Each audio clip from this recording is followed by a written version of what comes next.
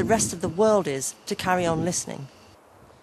That was Susan Watts. Well, joining me now in the studio is Professor Roger Pielke Jr., one of the scientists who attended that private meeting we saw in Susan's piece. He says his work has been misrepresented in an IPCC report. In California is Professor Chris Field, co-chair of the IPCC working group responsible for that report. Uh, Chris Field, good evening. Um, first of all, you took over after this calamitous error, particularly on, on, on the glacier, but do you apologise for it on behalf of the IPCC? That's right. I became co-chair of Working Group 2 of the IPCC in late 2008. Uh, when the IPCC learned that there was a problem with the estimate of the disappearance rate of Himalay Himalayan glaciers, we looked at it very carefully and came out with a statement uh, indicating that the uh, report was incorrect on that as quickly as we could. Uh, tomorrow morning, though, in the Guardian newspaper on its front page, your boss, Rajendra uh, Pachauri, says, I will not say sorry for the glacier error. Will you say sorry? Should he say sorry? The thing that's important to remember about the IPCC assessments is that they're the most ambitious, thorough, and successful science assessments that have ever been undertaken on any issue.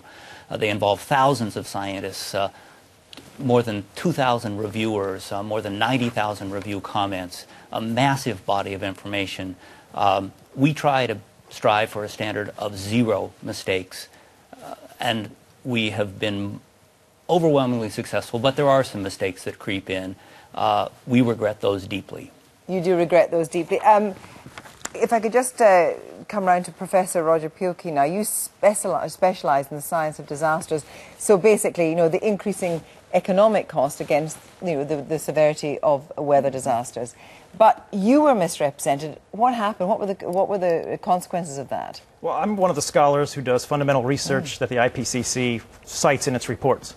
Uh, so it was with some surprise I saw in its, its most recent report that it had a graph showing a relationship between increasing temperatures and the increasing cost of damages. That's surprising because there's no evidence in the literature to suggest that that relationship exists. Even more troubling, one of the expert reviewers for the IPCC uh, asked the IPCC to check with me to yeah. see what my views were on this uh, relationship. Uh, the IPCC responded that they thought I had changed my mind on this topic um, not only is that untrue, but I was never contacted by I the I presume that's professionally damaging, potentially, for you. It's professionally damaging, but more importantly, it's, it's misleading to policymakers. Okay, here we have two things now. We have, let's say the glacier thing, it goes from 35 years to nearly 300 years, and we have a misleading information for policymakers, and the professor, the specialist here, saying that the IPCC did not take his um, objections seriously. That's two major blunders. You know, the glacier issue is a, is a blunder. The issue with the cost of disasters is much more nuanced, as, as Roger knows. Uh, the, first of all, if you read the section in the report, you'll see that it indicates very clearly that the overwhelming driver of trends and disasters has been the increasing value of assets at risk. And the chapter concludes that there's one study that's indicated that there is a trend uh, through time and that uh, the evidence for that is uh, equivocal that if you take out Chinese floods or if you take out hurricanes in the United States, the effect this, goes this away. Is, this is the problem. The goal of the IPCC is to provide a very nuanced, balanced view. And the but if it's that, wrong, that, if it's the um, wrong view, Roger Pielke says it's the wrong view, yeah, the, the, that's damaging to policy for policymakers. The, problem is, is that if the IPCC uh, continues to defend the indefensible and not allow people to respond, uh, it's only going to make things worse. This is not a nuanced topic. There's no ambiguity here.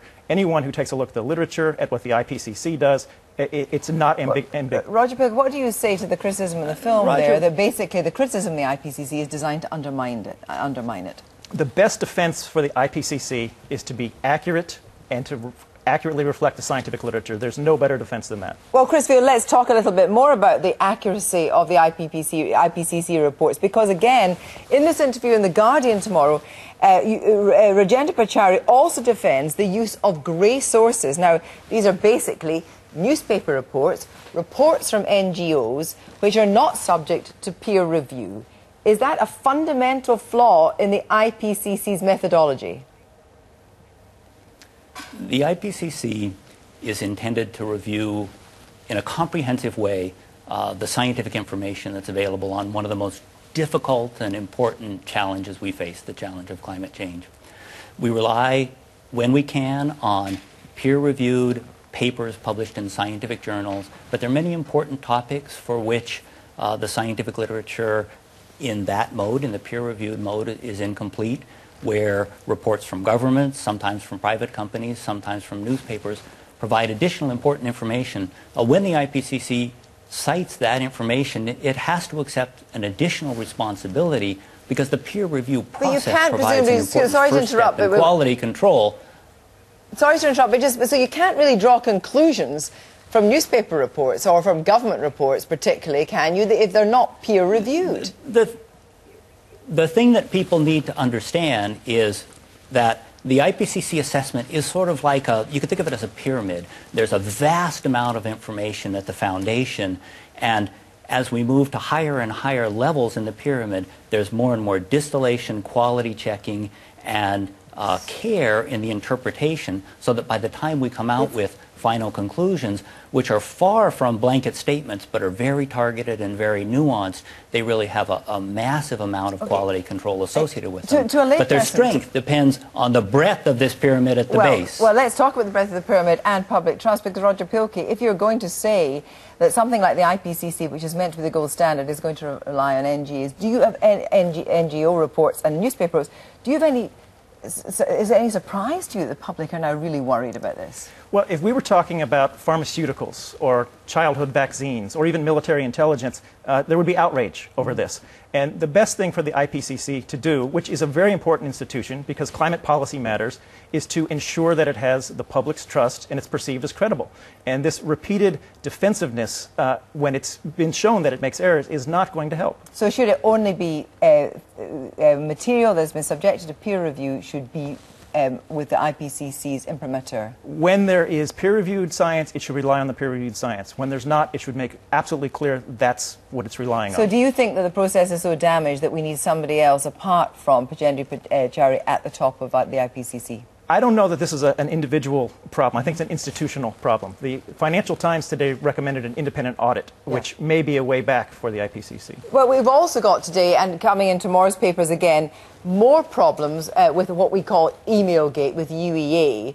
And the problem is, is it not, that the IPCC took as the information for the uh, evidence that global warming started 157 years ago, worked by the scientists at the UEA. Do you think it'd be better just to scrap that now because it undermines further your credibility? You know, the paper that is in the news today was published in 1990, 20 years ago.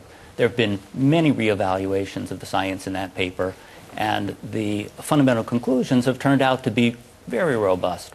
In addition to that, it's important to note that the historical temperature records are based on a, a large number of sources and not just the analysis But at you the would, UEA. but maybe you would say that actually to remove the UEA from the equation would be actually the smart thing to do at the moment.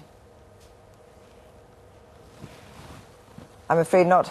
We've got a problem here, and I'm afraid it's not about climate change, it's about technical change that has uh, failed us at this moment. But thank you very much. I just want to put one final point to you before we finish. Uh, without an independent review, do you think that the IPCC uh, has been uh, really deeply undermined? It has been undermined, and the problem is that there's a lot of very good science that's accurately represented by the IPCC, and many people won't be able to tell the difference between the good and the bad. Thank you very much. And when we finally get a chance to thank him, thank you to Chris Field joining us from California.